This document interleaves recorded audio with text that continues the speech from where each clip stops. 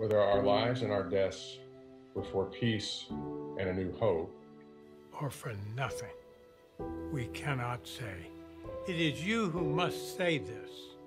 They say we leave you our deaths. Give them their meaning.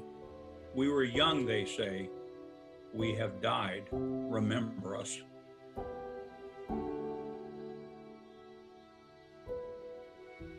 I will remember you. I will remember the Doughboys. We will never forget those who fought. The Doughboys will forever be an enduring icon in American history.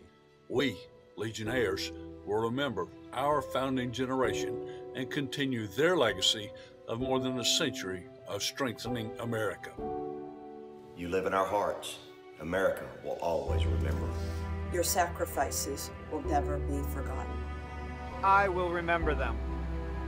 I will remember them. I will always remember our doughboys. You live in our hearts. America will always remember. Remember them. I will remember them. You live in our hearts. America will always remember.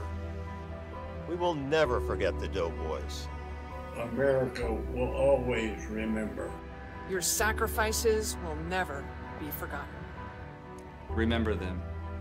I will remember them. The 108th Infantry Regiment and the 27th Brigade Combat Team remember the Doughboys. We remember them! Your sacrifice will never be forgotten. We will never forget them. We will never forget. I remember. We will never forget the Doughboys. On behalf of all those who made this memorial a reality, thank you for being with us today. Through your presence, you have paid tribute to every American who served and sacrificed in World War I.